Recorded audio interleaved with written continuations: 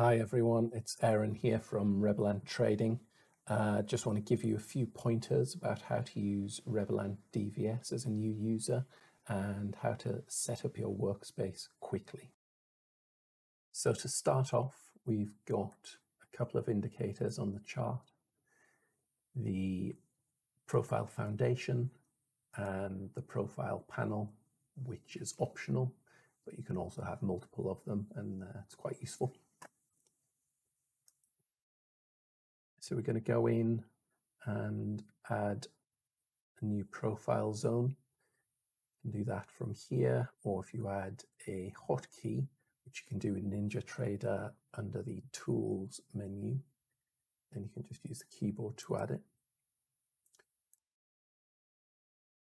So there you go. That's your first manual zone all created, uh, and it stays where it is, which is useful for some things, but not for others. So usually you'll want to create a more dynamic zone. So the easiest way to get to a dynamic zone is to click this button on the menu, which instantly gives us an edge-to-edge -edge screen zone. So the right edge is locked to the edge of the screen and the left edge is locked to the edge of the screen, meaning as you scroll around, it's fully dynamic with whatever is within your screen at that time. So if we double click and go into zone definition, you can see right edge, screen edge, left edge, screen edge, which is useful for various things. And combining different options for these gives you quite a lot of powerful ways of looking at things. So we could set the right edge to always be at the latest bar and the left edge to be three days ago from the latest bar. Now you'll notice when we scroll back, this doesn't change because the right edge is locked to the latest bar and the left edge is at the start bar. So we'll use this to begin setting up a layout that we could use every single day. So once you've got a zone defined that you like, you really want to be able to reuse that zone across different charts. So what we can do is use NinjaTrader's templates.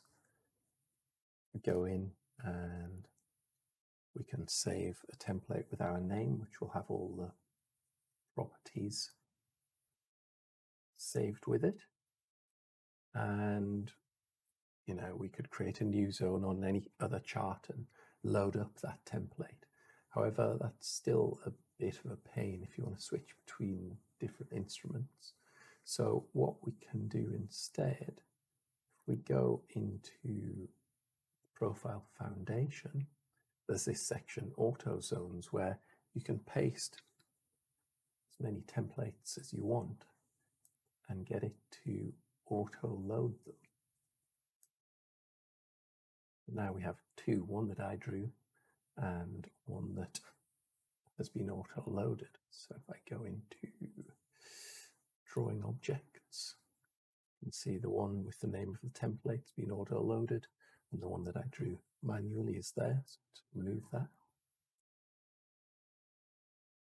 So now, if I was to switch to a different contract,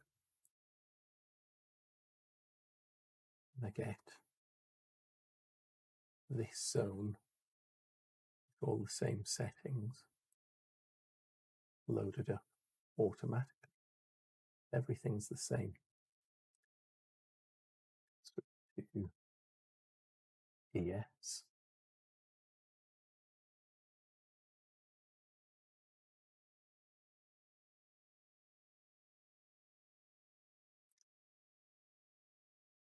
But one thing that's interesting to note when we're looking at the NQ,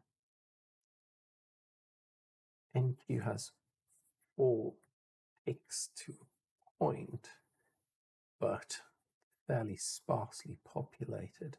So if we were to actually look at every level,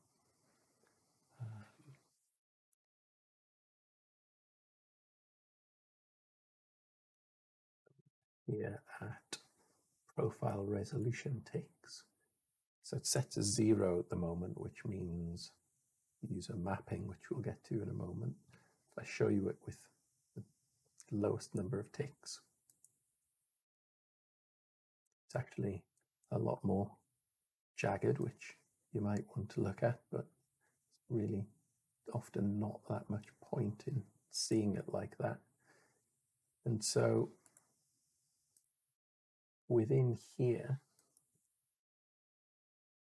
what we've got is mappings for as many, well, you can add whatever products you want in there and set up how many ticks you want to aggregate to.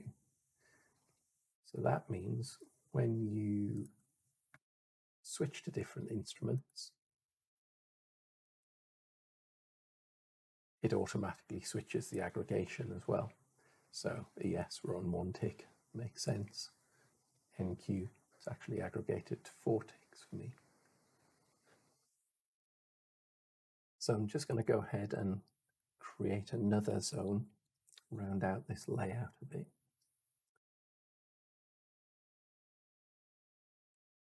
So I actually want this to be Renage two days ago. And I'm going to change the positioning. So instead of having the zone profile on the right, put it on the screen left.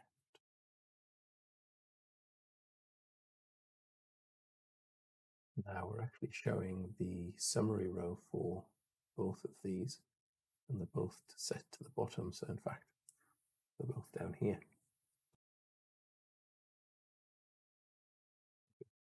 Change that, add another panel and move it to the top, or in this case, turn off the summary row.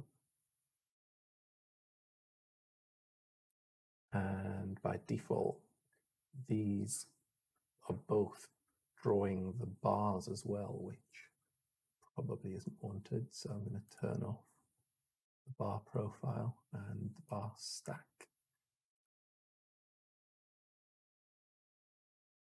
Now this one's drawing the bars and we've got the zones on both. So just to run through a few of the menu options here, VIBs and VWAP, uh, BP, so that's the bar profile that we are just talking about, um, bar delta style, bar volume style, bar stack, uh, bar value area, bar point of control, uh, zone profile, so turn that on and off, and the zone stack toggles through various different settings for it.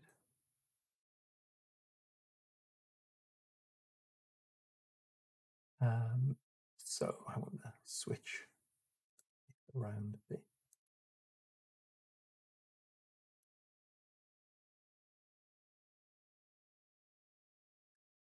Delta. So there we go. Everything pointing to the right.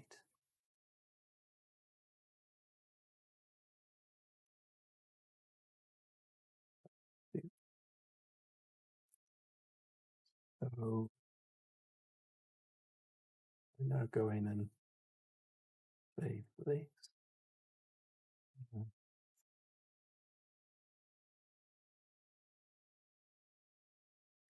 Name.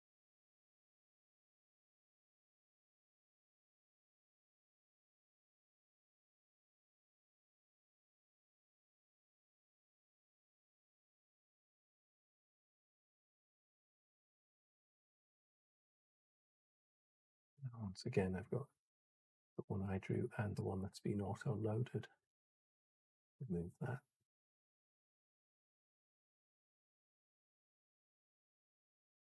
Now, when I switch to any other chart,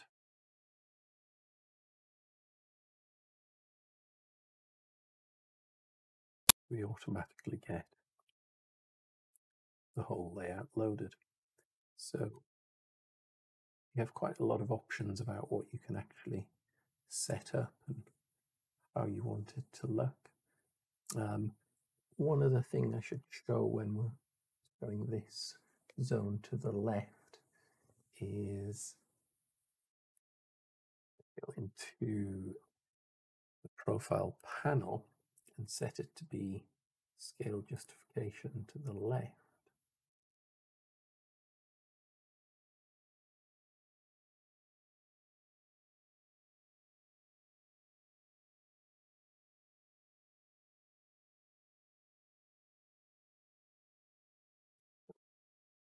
Actually utilized a bit of extra space here, so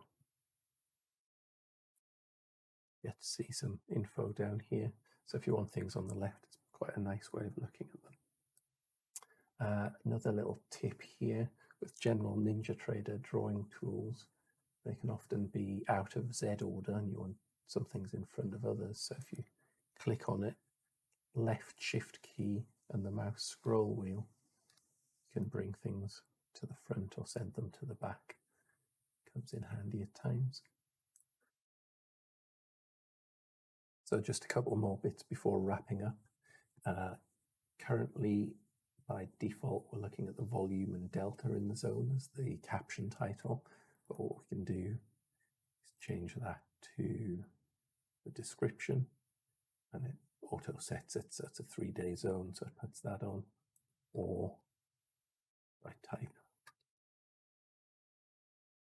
whatever I want and name it. Um, remember that if this is an auto zone, it's being loaded via template. After you've made any changes, you want to go in and look in the background, you can see the right one.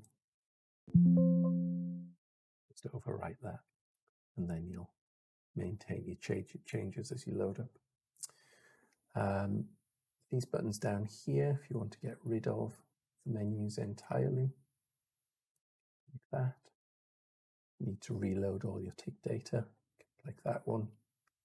And this one pauses and resumes the profile build on a, an individual candle. So if you had a one minute chart or lower, you might want to keep the profile just building up and down here while new bars form and continue on and then resume it at a later point or restart. But I'll do another video on that to dig into it.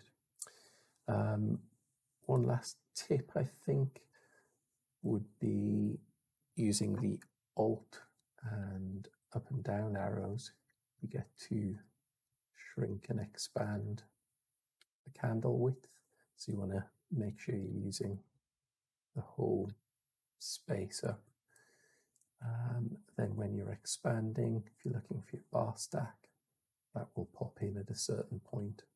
and there are some settings where you can alter how quickly that pops in. Okay, I'll leave it there. There will be more videos coming soon and if you want to see more go to rebelant.com. Thanks everyone.